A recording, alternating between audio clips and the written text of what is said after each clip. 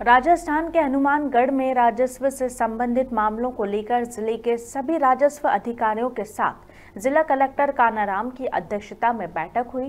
बैठक में पीएलपीएस प्रकरण सीएम सेल प्रकरण, राजस्व वसूली, आंतरिक लेखा जाँच दल, बैंक ऋण वसूली, लंबित राजस्व वाद भूमि रूपांतरण सहित अन्य प्रकरणों की समीक्षा की गई। वहीं जिला कलेक्टर ने सभी एसडीएम को प्रतिदिन कोर्ट में बैठने और लंबित राजस्व वादों का अतिशीघ्र निस्तारण करने के निर्देश दिए। बैठक में कलेक्टर ने कहा कि तरमीम के लिए जारी की गई पीडी का निर्धारित समय सीमा में पटवारी जवाब दें वहीं पीडी का जवाब नहीं देने वाले पटवारियों को चार्ज शीट देने एसडीओ को साप्ताहिक रूप से मॉनिटरिंग करने के निर्देश दिए।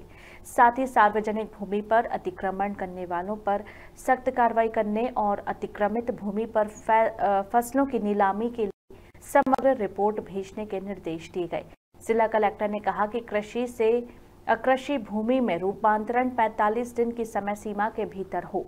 हनुमानगढ़ से संवाददाता राज रतन पारिक की रिपोर्ट।